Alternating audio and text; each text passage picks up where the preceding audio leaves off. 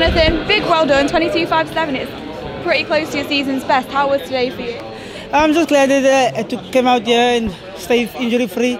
So I'm just blessed. Thanks for a lot for the, giving me the opportunity to come down and perform for the people. You got a bronze in the 100 in 2012. What's it like being back in the Olympic Stadium?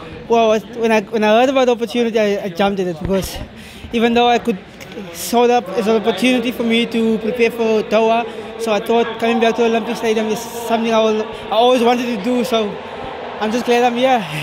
And what's your aim for Doha in October? Um, we, we got about 10 weeks, if I'm correct, before Doha. So Yeah. what I've been looking at before was just to try and get to my personal best, about both 100 and 200 meters. So then after that, we'll see how Doha goes. You look like you're in great shape, so best of luck for Doha and the rest of the season. Thanks for talking to us. Thank you very much. Thanks.